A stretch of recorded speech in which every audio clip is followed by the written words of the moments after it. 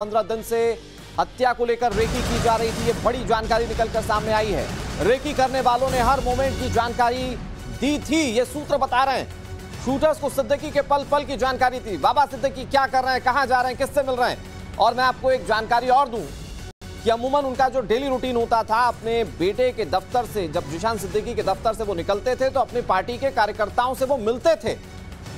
और इसी दौरान उन पर गोलीबारी की गई।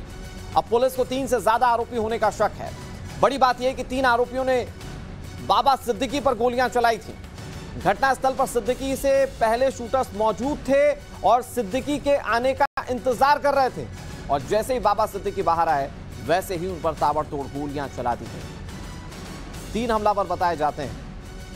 और खबर है कि पुलिस ने कुछ संदिग्धों को हिरासत में ले लिया है। पुलिस की कार्रवाई को लेकर एक एक जानकारी हम आपको देंगे। लेकिन अभी जो सूत्र बता रहे हैं वो ये कि बकायदा रेकी करवाई गई थी। पिछले पंद्रह दिनों से प्लानिंग की जा रही थी। बाबा सिद्दीकी एक ऐसा नाम जो बॉलीवुड से लेकर सियासत तक में बहुत बड़ी पहचान रखते हैं। और आपको उनके